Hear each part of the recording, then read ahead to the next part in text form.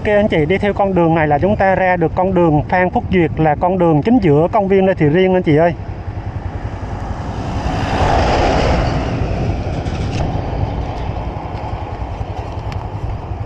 họ đi theo con đường này rồi là mình ra con đường Phan Phúc Duyệt nha.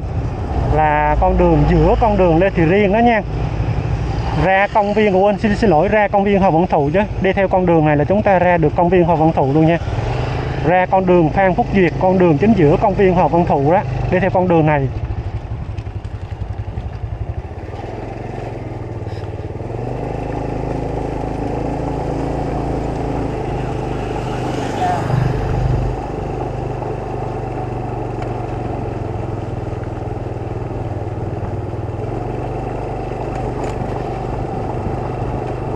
hai trăm mét nữa, rẽ trái vào đường 18 ơ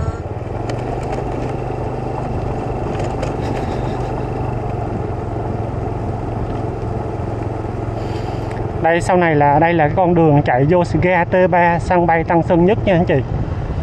Ga T3 sân bay Tân Sơn Nhất. Rẽ trái vào đường 18 ơ. rồi sau đây đây là cái con đường từ đường Cộng Hòa đi vô nè.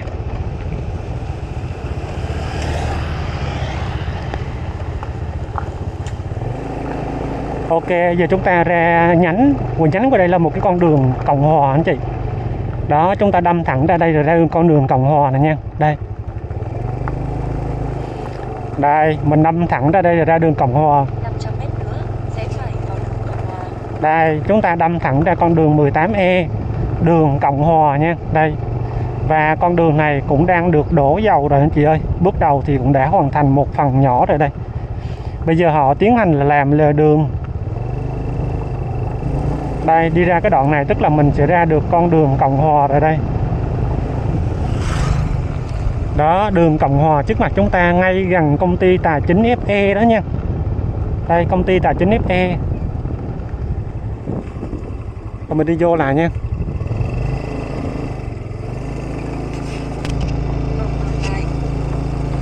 Ok và đây chính là con đường Trần Quốc Hoàng sau này anh chị.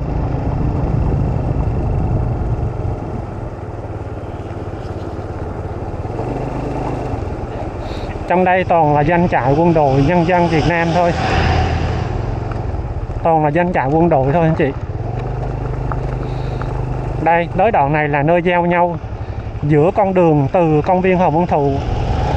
Cái đoạn này là giao nhau giữa con đường Cộng Hòa và công viên viên Hồ Văn Thụ nha. Đây con đường này.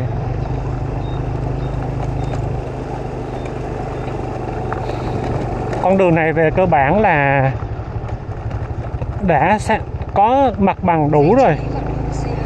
Bây giờ họ đang tiến hành xây cái cầu vượt trong đây thì phải. Trong đây sẽ có một cái cầu vượt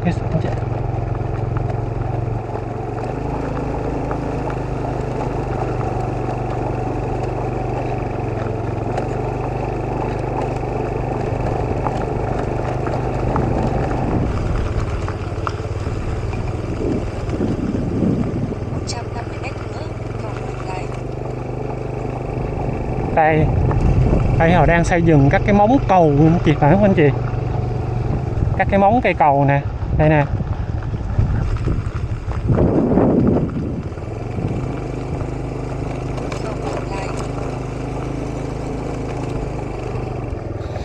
Đây, không biết xây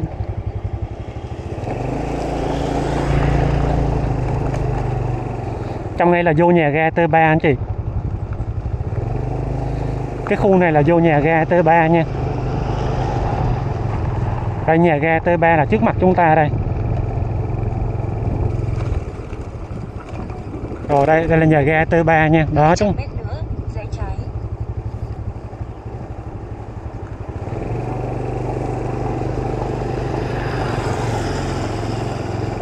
Rồi trước mặt chúng ta chính là nhà ga T3 nè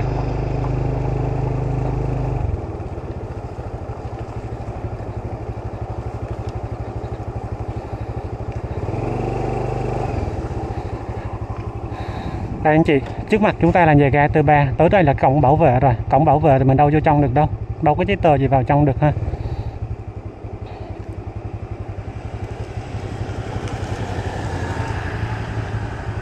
Có nhà ga T3 trong đây anh chị nha.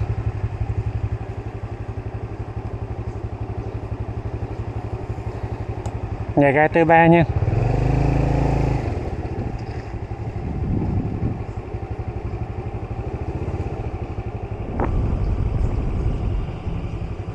Rồi, trong này nhà ga T3 tới đây hết vô được rồi, anh chị ơi. Tới đây là tới cổng bảo vệ rồi.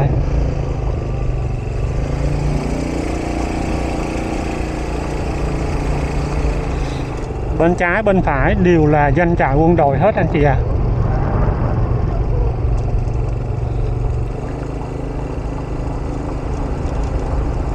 bây giờ mình cùng ra con đường Trần Quốc Hoàng ha.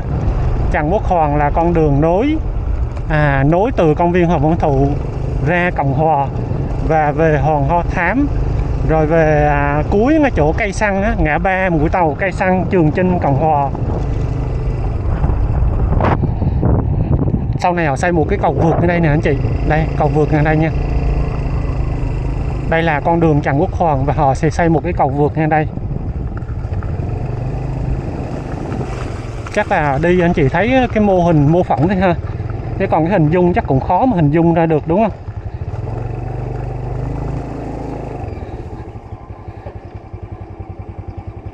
Đây là chân của một cái cầu vượt anh chị ha. Đây đây là một cái cầu vượt sau này nha. Đây anh chị cầu vượt ha. Đây cầu vượt này con đường Trần Quốc Hoàng với 4 hơn 4 km vuông. À, giá của uh, đầu tư hết là gần 5 4.800 tỷ ha. Đây chị. Đây là cây cầu vượt và cái lối đi vô của xe ga ga T3 là dưới đó anh chị ha. Ngay đây là cái lối đi vô của nhà ga T3 nha. Và đây chính là cây cầu vượt Trần Quốc Hoàng trước mặt nhà ga T3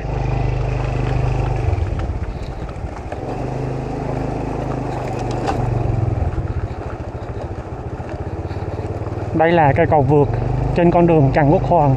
Trước mặt nhà ga T3 nha anh chị.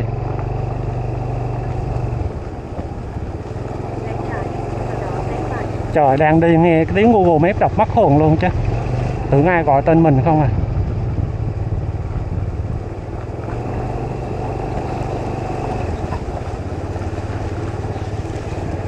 Đây là đường Trần Quốc Hoàng. Bây giờ mình đi về hướng này chắc là chúng ta đang đi hư về hướng à, hướng à, đường Hoàng Ho Thám. Và đi thẳng nữa là chúng ta sẽ về con đường C12 anh chị cái đoạn ở chỗ à, ngã ba mũi tàu á. Ngã ba mũi tàu đường à, Cộng Hòa Trường Chinh ngay cây xăng luôn anh chị.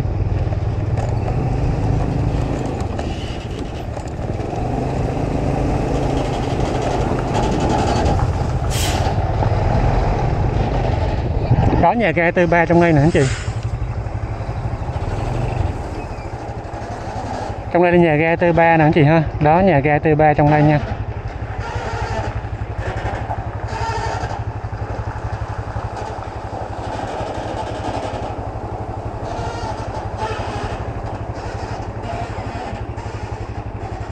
Nhà ga T3 trong đây nha anh chị ơi.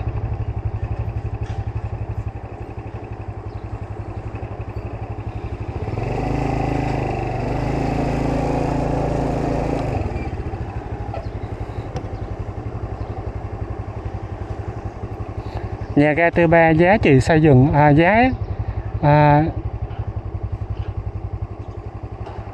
đầu tư là hết 11.000 tỷ đồng anh chị nha 11.000 tỷ đồng. Đây anh chị nhà ga T3 và đây là cây cầu vượt trước nhà ga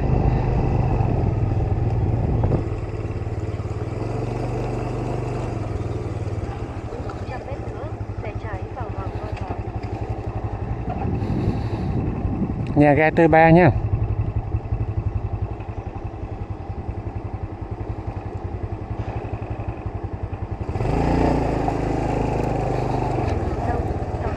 Đây là cây cầu vượt trước mặt nhà ga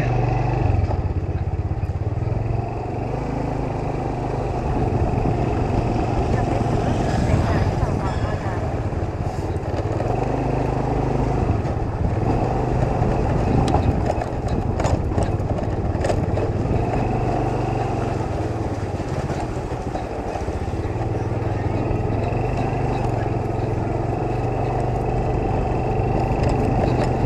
đây là cây cầu vượt trước mặt nhà ga nha anh chị.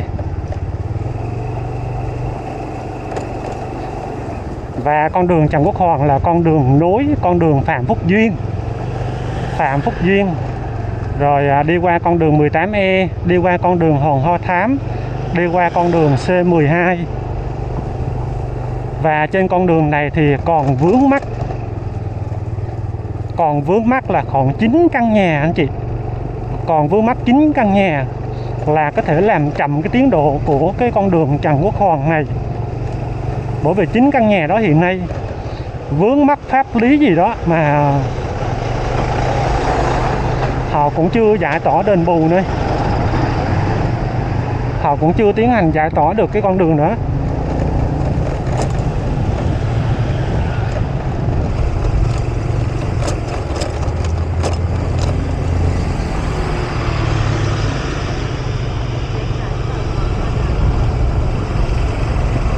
đây, con đường Trần Quốc Hoàng nha anh chị ơi. Đây là con đường Hoàng Hoa Thám nè anh chị. Đây. Cái đoạn này là mình ra con đường Trần Hoa, Hoàng Hoa Thám nè. Cái con đường này mình ra con đường Hoàng Hoa Thám nha. Đây, con đường Hoàng Hoa Thám là con đường này đây. Đó, Hoàng Hoa Thám nha anh chị. Ok và giờ chúng ta cùng tiếp tục đi trên con đường Trần Quốc Hoàng. Trần Quốc Hoàng tới đoạn đây là đã và đã và đang bị vướng, giải tỏa mặt bằng trước mặt chúng ta. Khoảng 9 căn nhà anh chị. À không. Đây, tới đoạn này là bị à,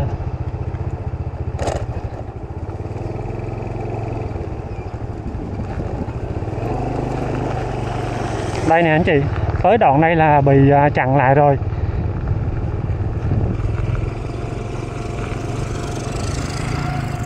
Đó. Cái con đường này là con đường nối cái con đường cạnh con đường C12 cái vụ cây xăng Cộng Hòa đó anh chị. Và nó sẽ chạy ra cuối con đường Cộng Hòa. Anh chị nha.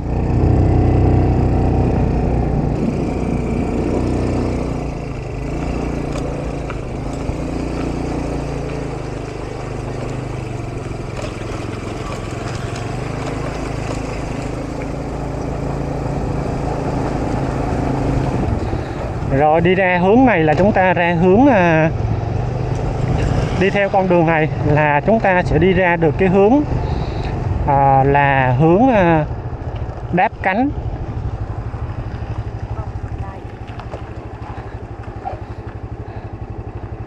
Cái đây là công trình của nhà ga T3 luôn nè anh chị. Một góc công trình của nhà ga T3 đứng đây thì mình thấy được rằng là đây phía sau của nhà ga T3 đây.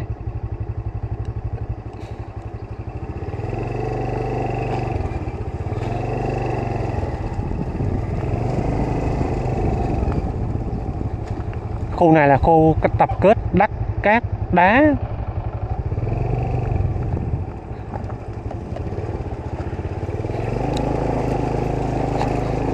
Ôi chà Trời ơi đường sóc quá trời sóc luôn. Ok ra đây là chúng ta ra ngắm sân bay Tân Sơn Nhất. À, Phía sau khu đậu tàu bay đều đó anh chị.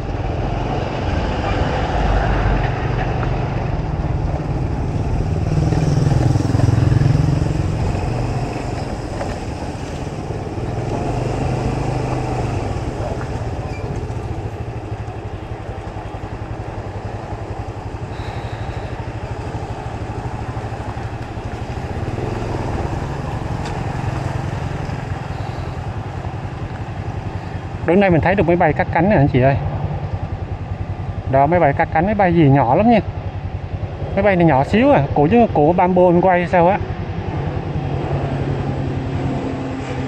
À Vietnam Airlines.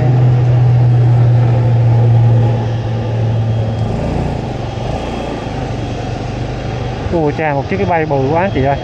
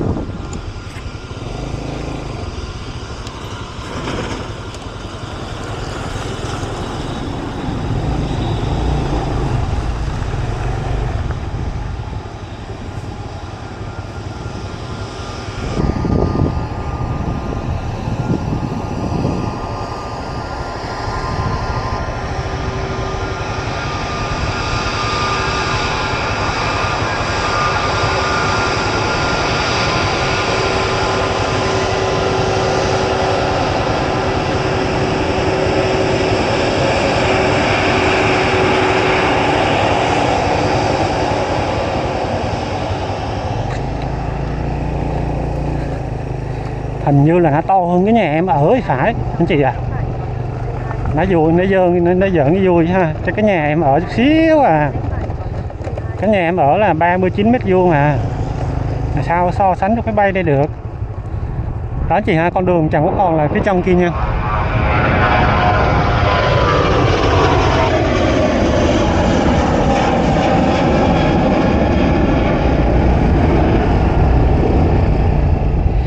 à, sân bay Tân Sơn Nhất có một cái nhược điểm rất là lớn.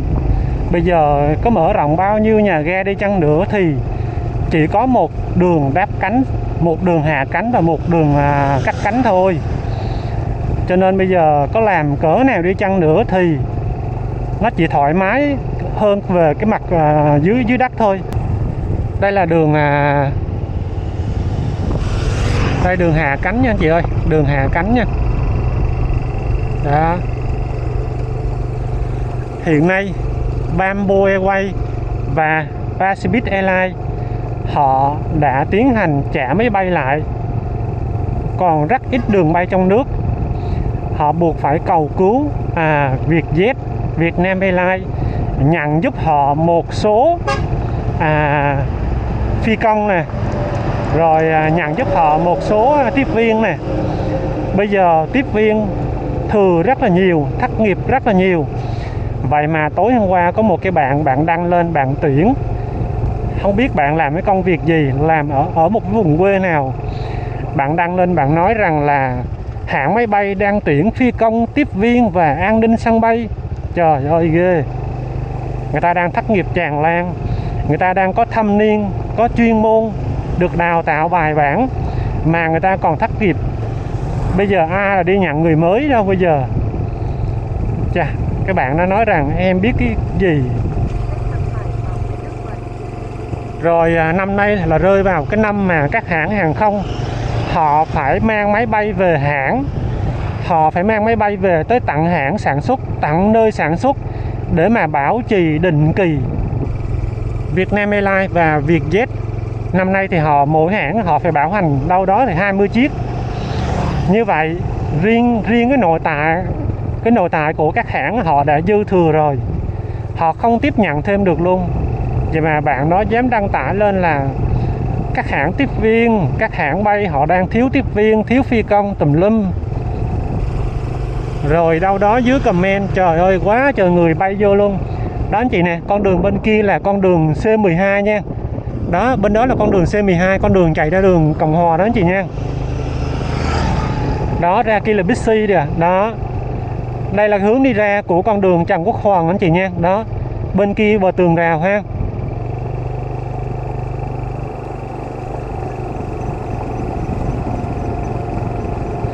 Rồi em thấy dưới cái bài viết của bạn đó, trời ơi, người ta vô người ta comment, em em chị ơi, cho em xin một chân, cho em xin đăng ký tùm lum. Bây giờ anh chị vào coi. Bây giờ này vắng lắm. Tội, bây giờ tội chỉ có việc jet mới thấy có khách thôi rồi Việt Nam, Airlines, Bamboo, Pacific vắng tanh luôn. Bây giờ họ tuyển vào làm cái gì nữa?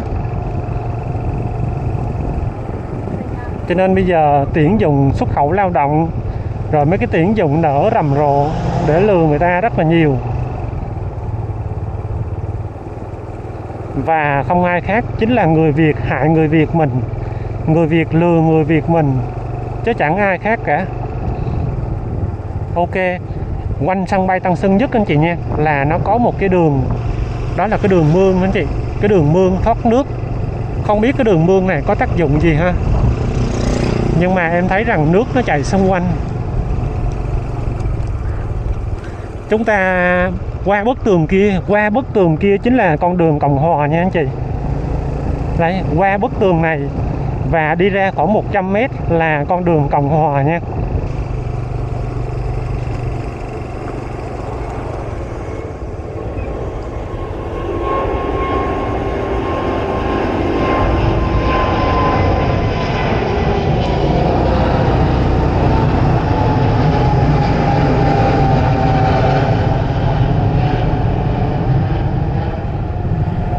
Nói chung đây là khu vực cấm quay phim anh chị ạ.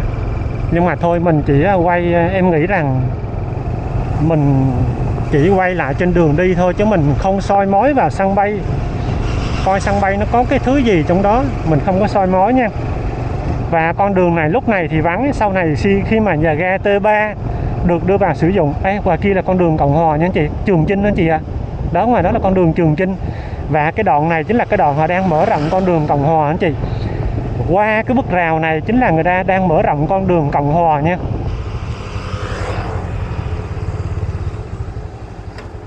Đây anh chị, sân bay Tân Sơn Nhất, đây là cái đường hạ cánh và cái đường hạ cánh hạ cánh và cắt cánh của sân bay anh chị ạ.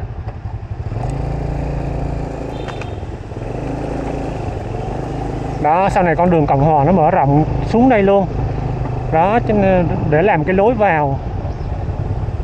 Để làm cái lối ra anh chị, để làm cái lối ra của con đường Trần Quốc Hoàng. Đó, người ta mở rộng tới đoạn dưới đây luôn. Tới con đường Nguyễn Văn Quá dưới đây luôn nè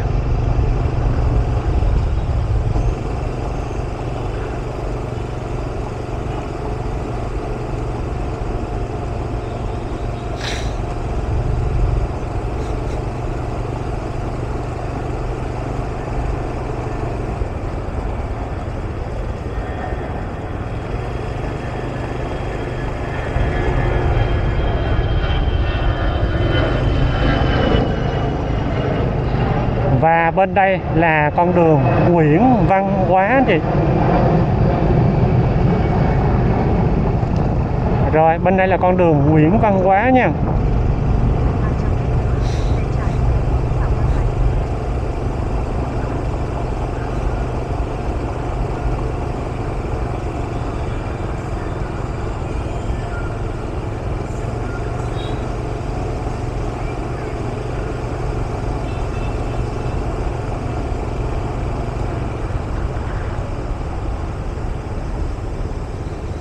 Rồi, đứng đây mình thấy được nhà ga T1 và T2 và nhà ga T3 nếu đang nhìn mắt thường nha. Nhà ga T3 đứng nhìn từ xa nó gần cái quy mô của nó chị là muốn đứng nhìn từ xa nó muốn bằng cái nhà ga T1, nhà ga T2 luôn anh chị. Nhà ga T3 nó vuông góc với nhà ga T1 và nhà ga T2.